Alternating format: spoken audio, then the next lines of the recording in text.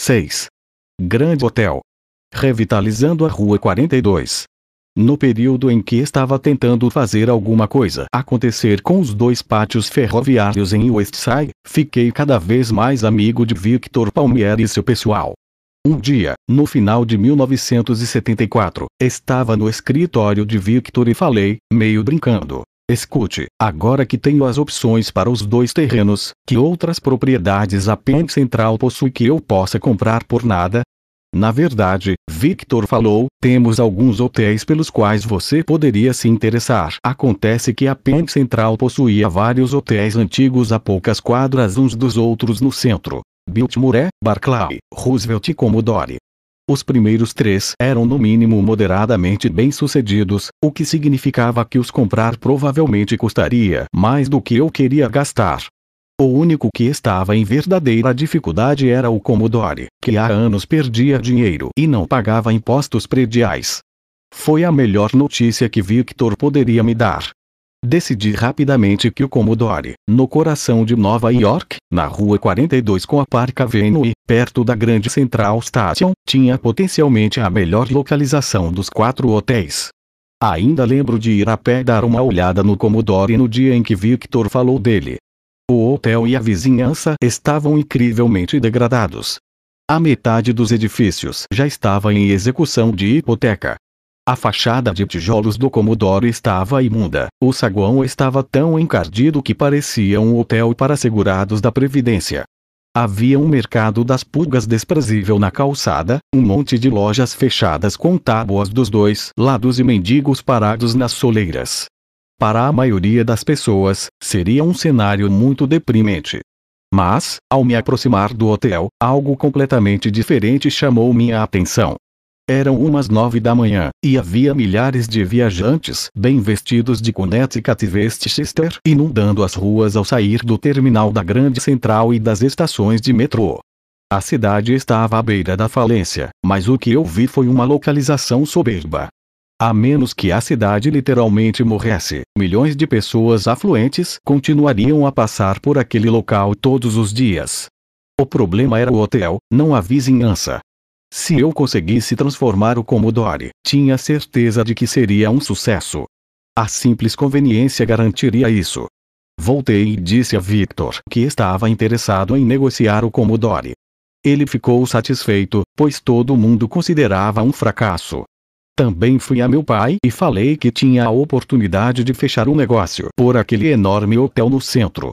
De início ele se recusou a acreditar que eu falava sério. Mais tarde, contou para um repórter que sua reação inicial à minha ideia foi de que comprar o Commodore numa época em que até o Chrysler Building estava sob administração judicial era como lutar por um lugar no Titanic. Eu não era ingênuo. Via potencial, mas também considerava o aspecto negativo. Podia visualizar um enorme triunfo, mas também sabia que o fracasso poderia me enterrar. Desde o primeiro dia de trabalho nas negociações, tentei colocar meus riscos em um mínimo absoluto e financeiramente tive êxito. Mas, com o passar dos meses, a negociação ficou cada vez mais complicada e difícil. Continuei a investir mais dinheiro e mais energia, e os riscos aumentaram por questões não relacionadas ao dinheiro. Eu não podia ficar só na conversa por muito tempo. Em algum momento tinha que provar, para o mercado imobiliário, para a imprensa, para meu pai, que eu conseguiria cumprir o que prometi. O acordo do Commodore foi basicamente um jogo de malabares, mas muito mais difícil do que eu havia imaginado no início.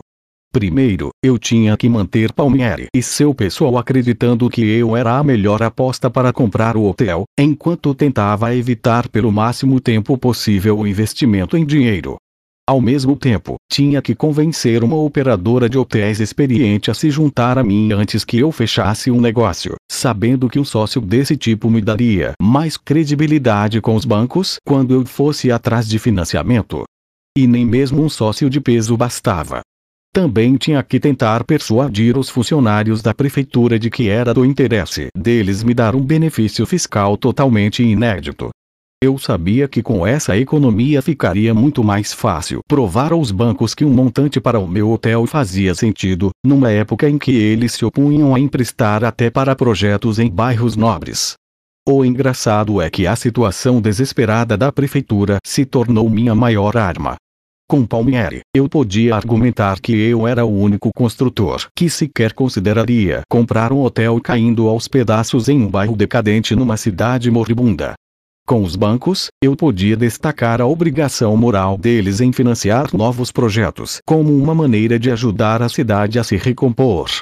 E com os funcionários da prefeitura eu podia argumentar de forma legítima que, em troca de um enorme incentivo fiscal, eu teria condições de criar milhares de novos empregos na construção e no setor de serviços, ajudar a salvar um bairro e por fim dividir com a prefeitura os lucros que o hotel rendesse. No final do outono de 1974, comecei a falar sério com Palmieri sobre um acordo. Oito ou nove meses antes, a PEN Central tinha investido 2 dólares milhões em uma reforma do Commodore que era o equivalente a passar uma demão de cera em um carro que tivesse acabado de sofrer um grande acidente. Mesmo depois da reforma, a PEN Central projetava uma enorme perda para 1974. Isso sequer incluía os 6 dólares milhões que o hotel já devia em impostos atrasados. O Commodore era um dreno de dinheiro terrível para uma empresa falida. Em pouco tempo, chegamos a uma estrutura básica para um acordo.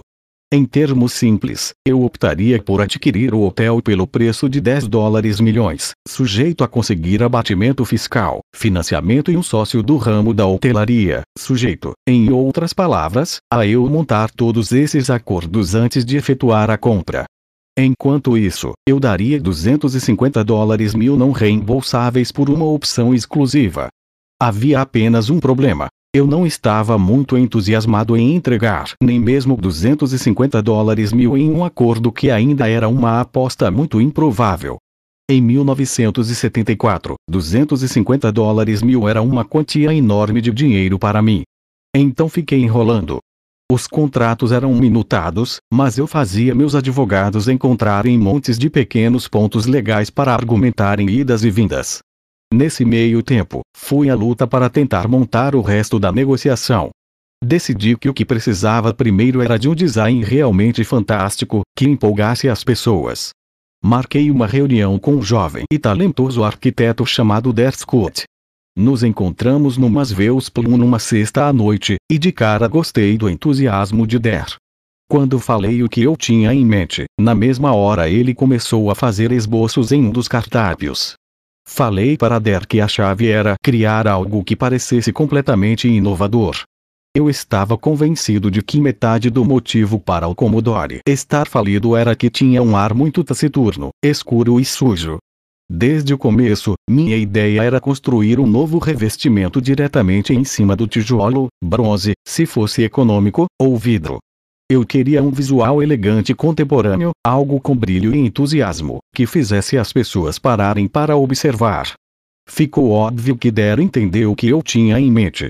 Depois que comemos, convidei dele e um outro amigo para irem a um meu apartamento, o loft minúsculo onde eu ainda morava na terceira avenida. Perguntei a ele o que ele achava de meus móveis. Algumas pessoas apenas teriam dito: fantástico, ótimo, mas Der não. Tem coisa demais, disse ele, e começou a arrastar os móveis, empurrando até algumas peças para o corredor. Quando terminou, conseguiu deixar o apartamento muito maior, e adorei. Contratei dele paguei para fazer alguns esboços que poderíamos usar nas apresentações para a prefeitura e os bancos. Também falei para dar a impressão de que havíamos gasto um dinheirão nos esboços. Na primavera de 1975, estávamos bem adiantados no design. Então, uma noite, na metade de abril, Der telefonou para contar que fora demitido da empresa de arquitetura onde trabalhava, Kane Jacobs barra Eumut, Obate Caçabaum. Eu sabia que ele não estava se entendendo com os chefes. Ao mesmo tempo, eu não queria retardar o projeto precisava dos recursos e do prestígio de uma firma grande para um projeto daquele tamanho e previ que levaria um tempo para Der fazer uma nova parceria. mas ele se associou rapidamente com uma firma chamada Grusen Partners, e consegui usar a situação a meu favor. O grupo Obata queria manter o trabalho desesperadamente, e der também, claro. A competição me deu oportunidade de negociar um honorário de arquitetura mais baixo, o que fiz. No final, continuei com Der e paguei um honorário bem modesto. Também falei que fazer esse trabalho no fim compensaria muito. Esse projeto será monumental, eu disse. Vai transformar você em uma estrela. Der não ficou empolgado com o honorário, mas depois admitiu que eu estava certo sobre o impacto que fazer o iate, e subsequentemente a Trumpetover, teve em sua carreira. Durante um mesmo período, no começo de 1975, comecei a buscar uma operadora para o hotel. A verdade é que eu não sabia nada sobre o ramo hoteleiro. Aprendi muito desde então, e hoje eu opero meus hotéis. Mas na época eu tinha apenas 27 anos e mal havia dormido em um hotel. Mesmo assim, estava tentando comprar aquele prédio monstruoso de 140 mil metros quadrados e propondo criar um hotel com 1.400 mil quartos, o maior desde a construção do New York Hilton, 25 anos antes. Parecia evidente que eu precisava de uma operadora experiente, também imaginei que provavelmente tivesse que ser uma das grandes redes e não estava totalmente errado. As redes podem não ser muito entusiasmantes, mas proporcionam acesso a um sistema de reservas nacional, boas referências empresariais e expertise em gestão básica.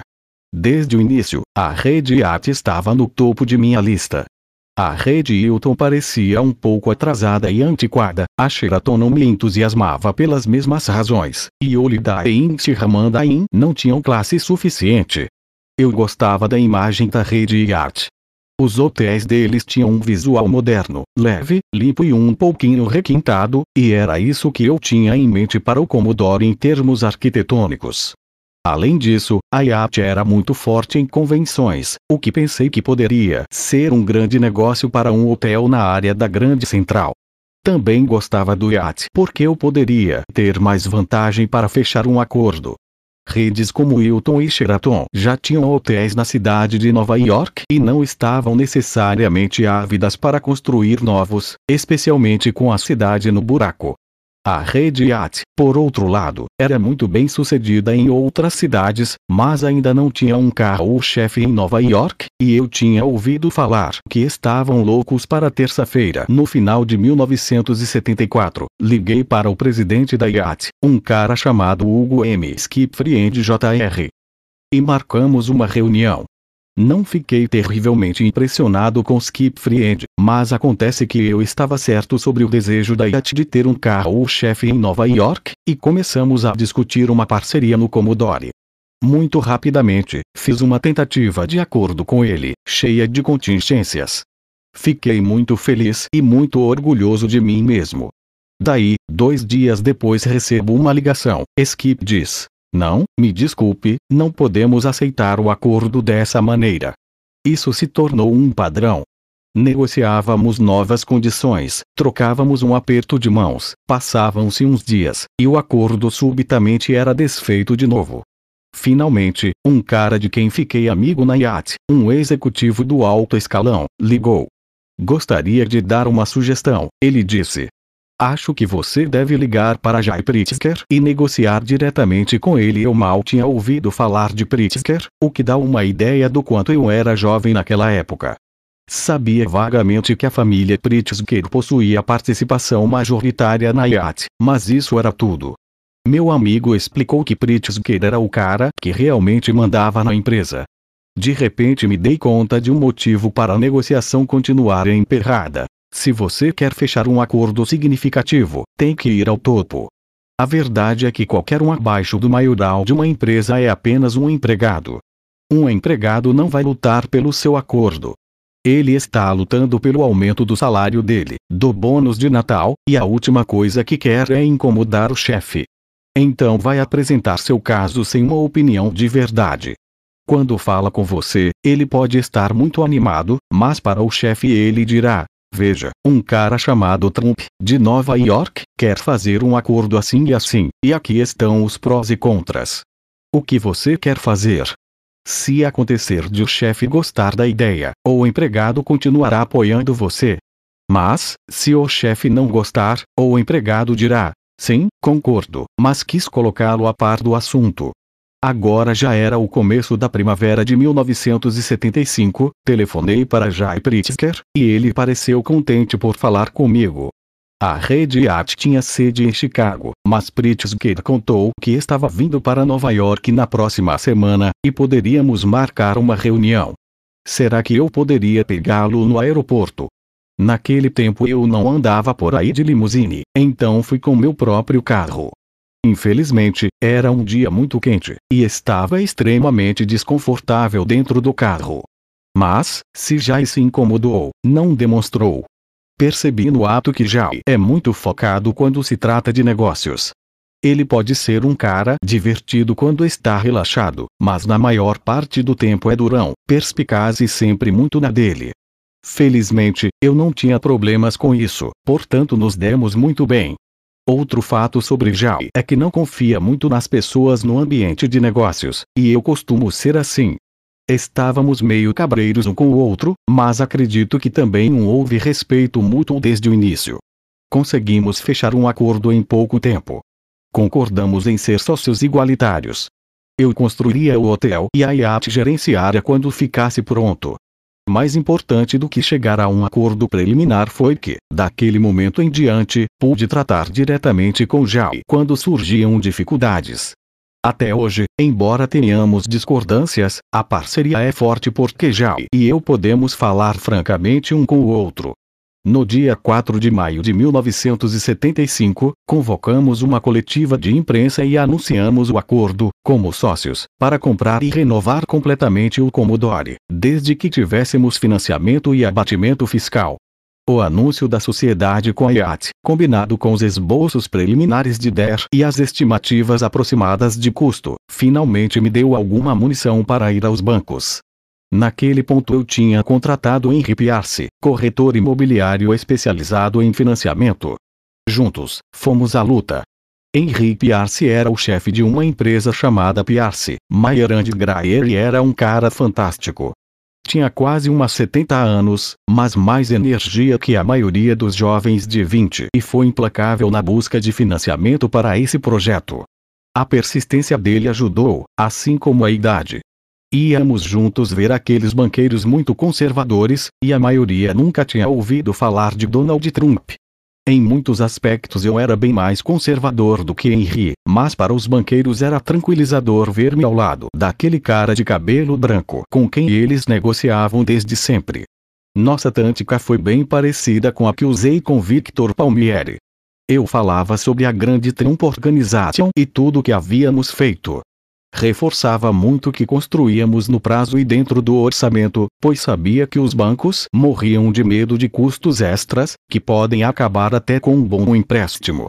Mostrávamos os desenhos e maquetes daquele novo hotel, imenso e reluzente, que eu planejava construir. Falávamos de como o empreendimento mudaria a vizinhança e criaria milhares de empregos, martelávamos incansavelmente sobre a fantástica e incomparável Yacht Company e até mencionávamos o grande abatimento fiscal que esperávamos receber da prefeitura. Este último ponto geralmente suscitava certo interesse, mas infelizmente estávamos em uma espécie de dilema. Até termos o financiamento firmado, a prefeitura não estava interessada em discutir com seriedade o abatimento fiscal, e, sem abatimento fiscal, os bancos não estavam muito interessados em falar de financiamento. Acabamos optando por uma nova estratégia. Ao perceber que a abordagem positiva não estava funcionando, tentamos jogar com a culpa, o medo e o senso de obrigação moral deles. Não se preocupem conosco, falávamos, vocês devem a Nova York. A cidade está em apuros, mas ainda é maravilhosa e é a nossa cidade. E, se vocês não acreditarem nela, se vocês não investirem nela, como podem esperar que ela dê a volta? Se vocês emprestam milhões de dólares aos países do terceiro mundo e aos magnatas de shopping de subúrbio, não têm também uma obrigação com a sua própria cidade. Nada parecia funcionar. Certa ocasião, encontramos um banco que parecia prestes a dizer sim, Aí, no último minuto, o cara encarregado levantou alguma questão técnica trivial que acabou com toda a negociação. O cara era o que eu chamo de homem institucional, do tipo que virtualmente não tem emoção. Para ele, é simplesmente um trabalho, e tudo o que quer é voltar para casa às 5 da tarde e pronto. É melhor negociar com um cara passional, com sangue nos olhos. Quando ele diz não, às vezes você consegue dissuadi-lo.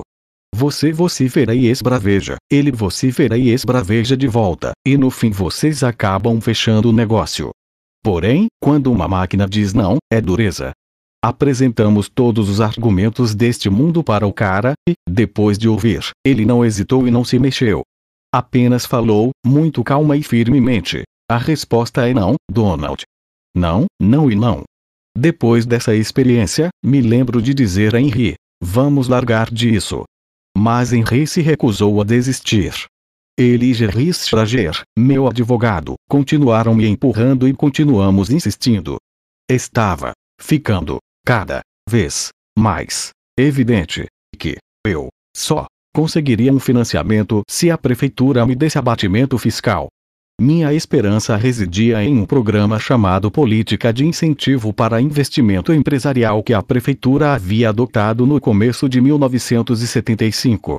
Com um mercado ruim, o programa destinava-se a incentivar empreendimentos comerciais, proporcionando abatimento no imposto.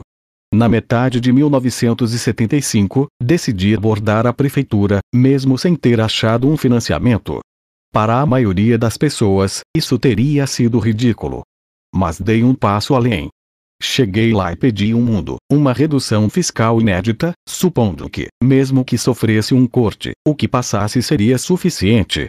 Curiosamente, parecia um jogo de pôquer com aposta alta em que ninguém tinha cartas muito fortes e por isso ambas as partes eram forçadas a blefar. A essa altura eu praticamente não podia mais recuar no negócio se quisesse manter alguma credibilidade. Enquanto isso, a prefeitura estava mais desesperada do que nunca para incentivar empreendimentos. Apresentei minha proposta para a prefeitura primeiramente em 1975, de forma direta. O Comodoro estava perdendo dinheiro e piorando rápido. A região da Grande Central estava virando uma favela. A rede de hotéis Yacht estava pronta para vir para Nova York, mas não havia maneira de bancarmos milhões para construir um novo hotel a menos que a prefeitura me desse um alívio nos impostos prediais. O pessoal do desenvolvimento econômico concordou em estruturar um programa em que efetivamente fôssemos parceiros.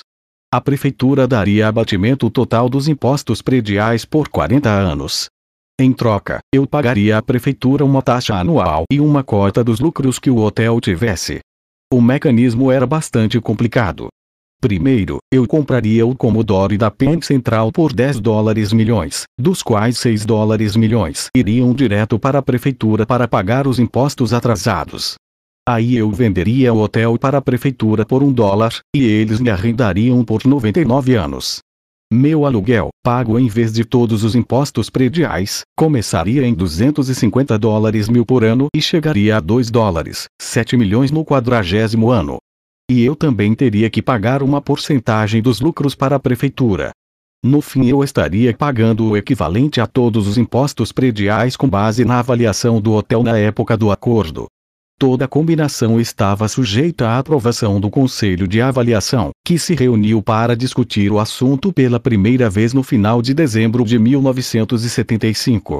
Uma semana antes da reunião, falei com Victor Palmieri e expliquei que, se ele quisesse que a prefeitura levasse nosso abatimento a sério, era melhor deixarmos claro que o Commodore estava profundamente enrascado e que poderia não sobreviver por muito tempo.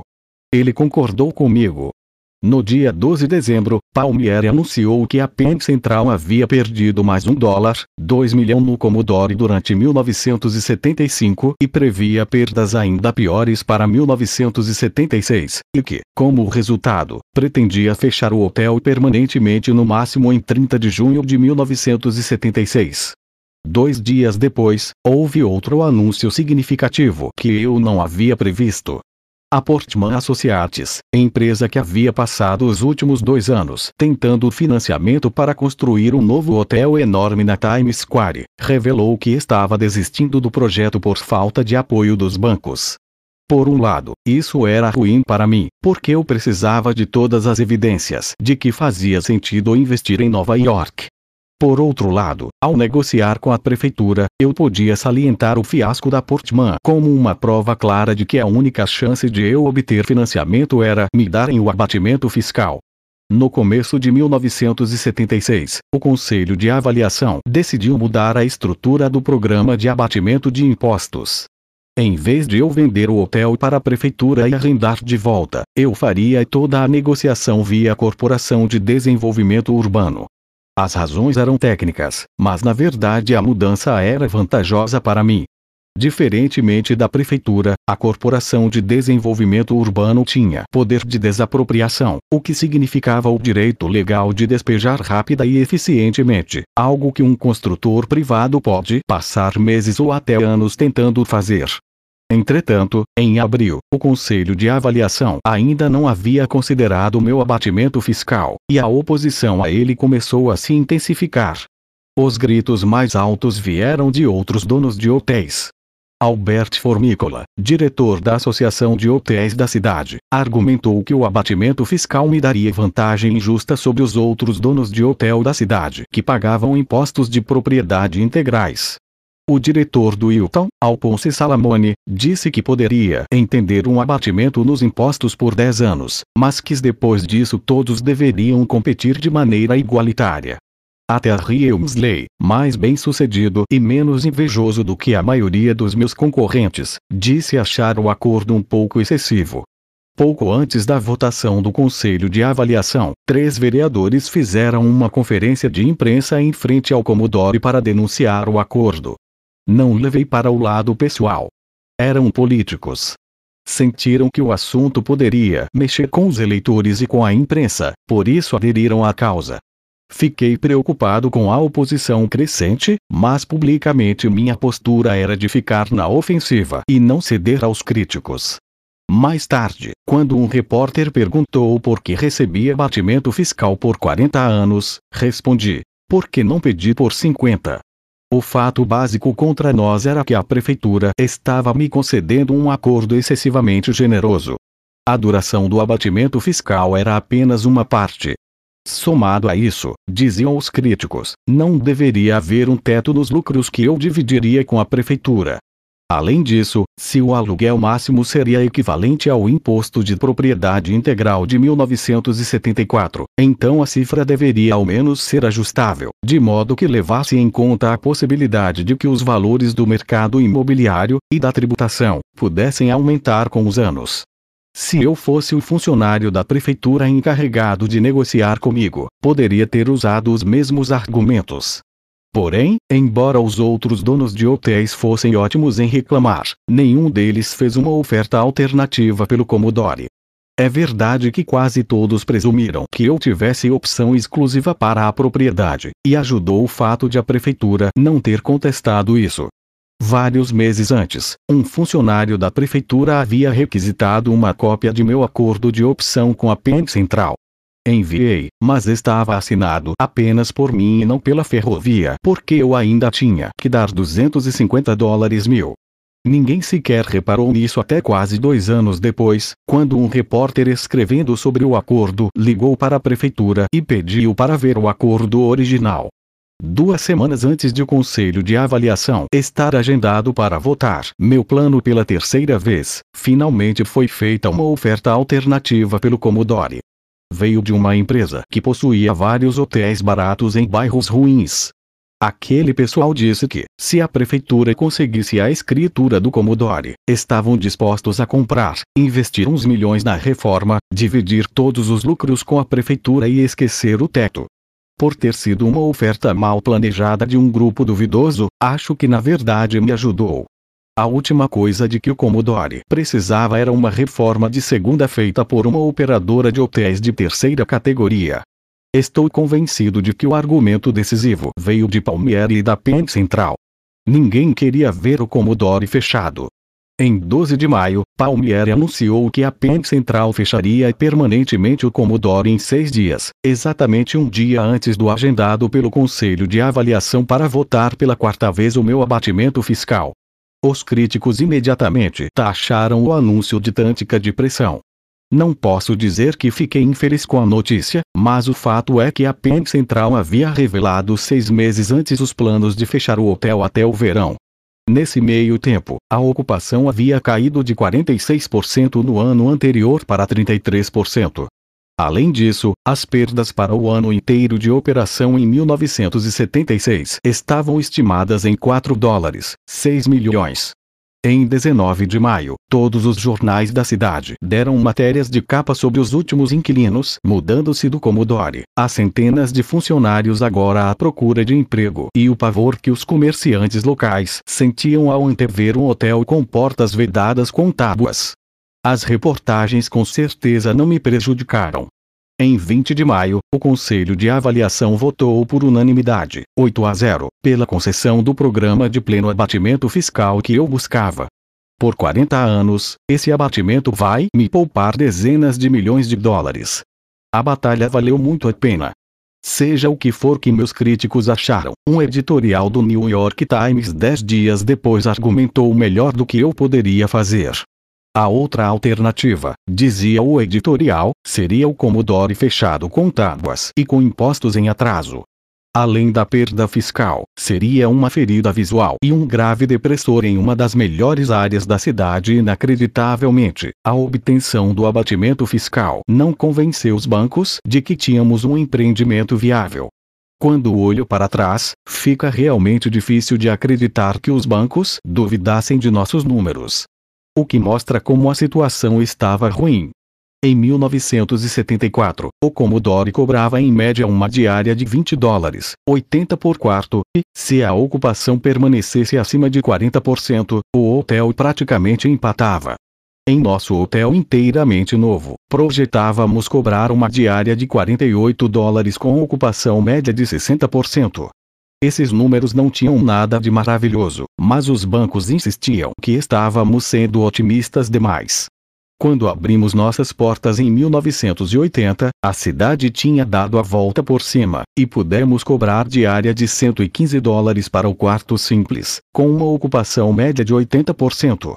Em julho de 1987, aumentamos a diária para 175 dólares e agora temos uma ocupação média de quase 90%. No fim conseguimos financiamento de duas instituições. A primeira foi a Equitable Life Assurance Society, que, além de outros negócios, também possui muitos imóveis.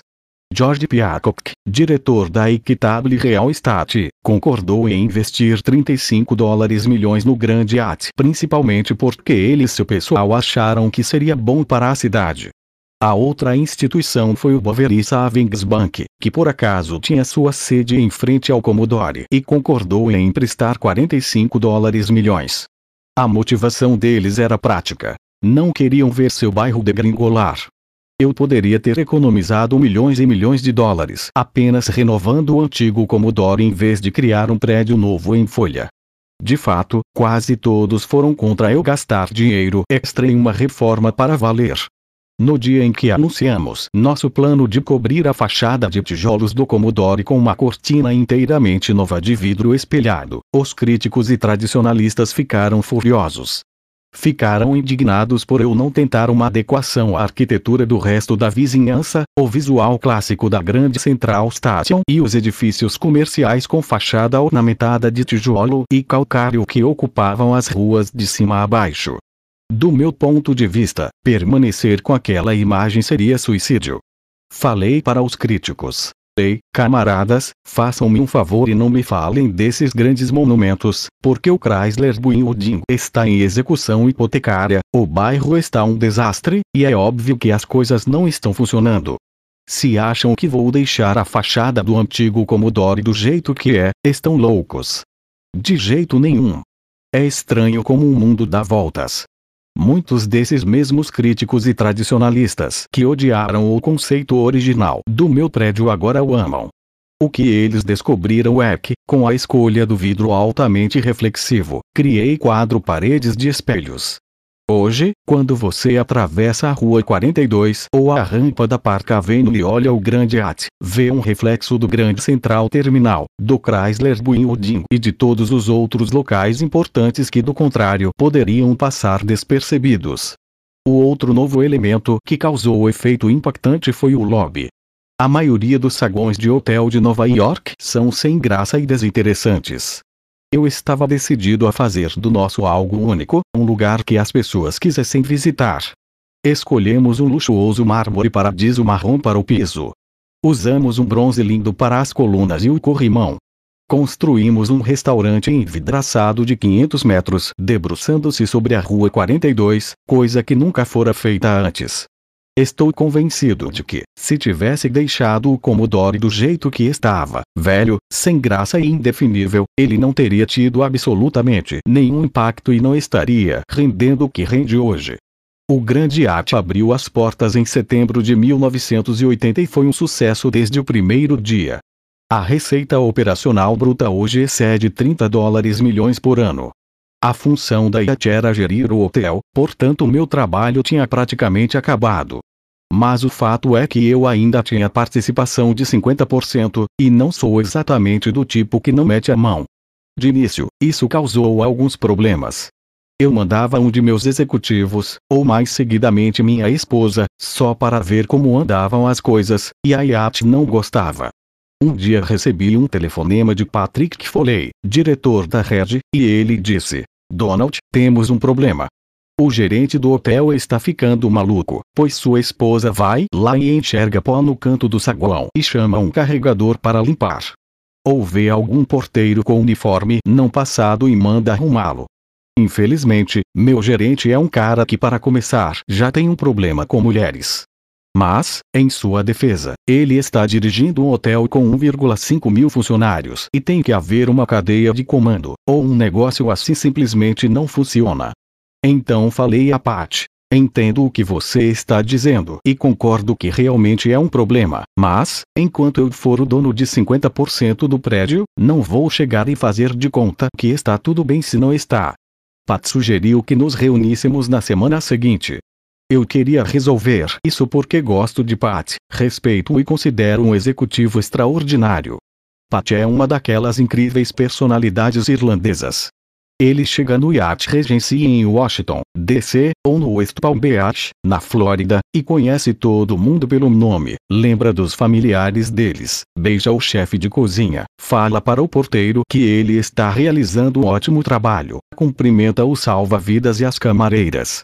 Quando ele deixa o hotel uma hora depois, todo mundo se sente motivado e importante. Então me reúne com Pat, e ele falou: Decidi o que fazer. Vou trocar de gerente. Vou colocar um dos meus melhores caras. Ele é do leste europeu, como sua esposa. Também é muito flexível, e os dois vão se dar muito bem. Dessa maneira, ela pode chegar e falar com quem quiser, e todos ficarão felizes. Pat fez mesmo a troca, e esse novo gerente fez algo brilhante. Começou a nos bombardear com trivialidades. Ligava várias vezes na semana e falava: Donald, queremos sua aprovação para mudar o papel de parede no 14º andar, ou queremos introduzir um novo cardápio em um dos restaurantes, ou estamos pensando em trocar para um novo serviço de lavanderia. Também nos convidavam para todas as reuniões administrativas. O cara empenhou-se tanto em solicitar nossa opinião e nos envolver com o hotel que finalmente eu disse: me deixe em paz, faça o que quiser, mas não me incomode. A manobra dele foi perfeita, pois conseguiu o que queria sem briga, apenas sendo positivo, amigável e solícito. Por mais bem-sucedida que nossa sociedade tenha se revelado, havia uma pequena cláusula no acordo que acho que pode valer até mais do que minha metade do grande ate. É algo chamado Pacto Exclusivo, cujo efeito é proibir permanentemente a IAT de construir hotéis concorrentes nos cinco distritos de Nova York sem minha permissão. Tentei obter o pacto primeiro com Jay Pritzker quando fizemos nosso acordo, mas ele recusou. Jay é um cara esperto e não estava a fim de encerrar a futura expansão de sua rede de hotéis em uma das maiores cidades do mundo. Finalmente, chegamos à assinatura, e, um pouco antes de todos nos reunirmos, fiquei a sós com um executivo do banco. Argumentei que o banco estava fazendo um investimento bastante grande e arriscado e que uma maneira de proteger ainda mais o empréstimo seria insistir em um pacto restritivo, para que a IAT não pudesse lançar um segundo hotel no final da rua dois anos depois. O banqueiro imediatamente viu as implicações.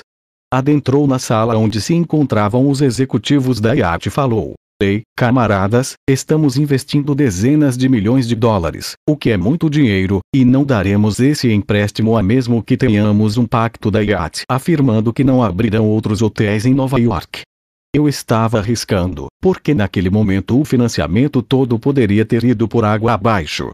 Mas a vantagem que eu tinha era que Jay Pritzker não se encontrava na reunião. O executivo representando a IAT tentou ligar para Jai, mas ele estava incomunicável no Nepal, escalando montanhas, e não podia ser contatado. Nesse meio tempo, o banco deu a IAT uma hora para tomar uma decisão, ou seria o fim do financiamento. Enquanto esperávamos, eu mesmo escrevi uma cláusula. Com efeito, dizia que a IAT não poderia abrir hotéis concorrentes na área de Nova York, incluindo os dois aeroportos. A única exceção era o direito de construir um pequeno hotel de luxo, o que de qualquer maneira eu não achava economicamente viável. E antes do prazo de uma hora, eles concordaram em assinar o documento que eu havia redigido.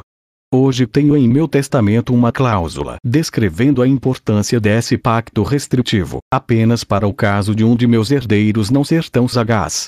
O que eu não quero, depois de morto, é que uma pessoa bacana e perspicaz da IAT chegue em um de meus herdeiros e diga: Escute, você não se importaria se colocássemos um hotelzinho não concorrente no aeroporto Kennedy, não é? O fato é que a IAT adoraria construir mais hotéis. Conservando o direito de dizer sim ou não, possuo algo muito valioso. Já tive prova disso. A. N. Pritzker, um homem maravilhoso que era o patriarca da família e faleceu recentemente, costumava me ligar frequentemente quando vinha a Nova York. E seu filho já eram homens muito diferentes. O que tinham em comum era o brilhantismo, mas, enquanto Jai fica muito na dele, a N era extremamente expansivo e extrovertido, quase um ursinho de pelúcia. Era uma combinação perfeita. A N construiu a fundação da empresa do nada e conseguiu o apoio dos bancos não porque tivesse muitos bens, mas porque o amavam. Hoje a empresa tem uma base enorme, e já, que tem uma personalidade muito mais fria, não precisa que os bancos gostem dele. Jai pode ser muito duro, e os bancos ainda vão querer fazer negócios com ele. Enfim, quando a N vinha para Nova York, ligava e falava: e aí, bom, estou aqui de visita e adoraria dar uma passadinha de dois segundos só para dar um oi. E eu falava: Ah, N, sei o que você está fazendo. Você quer construir um hotel em algum lugar de Nova York, não é? E ele falava: Gostaria muito que você nos deixasse fazer isso, bom, pois não vai prejudicá-lo e é bom para nós e bom para todo mundo. E, quando a N fazia isso, eu dava jeito de mudar de assunto, porque gostava tanto dele que nunca tive coragem de dizer não diretamente. Tem pouca gente por quem sinto isso. A N faleceu em 1986, e acontece que eu teria uma reunião de negócios extremamente importante em meu escritório no dia do funeral em Chicago.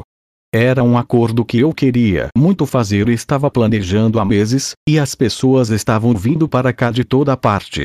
Mas cancelei a reunião para ir a Chicago, e acabou que nunca consegui fechar aquele negócio. Não me arrependo. Há algumas pessoas em sua vida a quem você simplesmente quer prestar homenagem, não importa o que isso envolva. E no fim acho que um motivo para minha sociedade com a IAT ter permanecido tão firme, além do fato do hotel ser tão bem sucedido, é que sempre tive esse carinho por a N. Pritzker.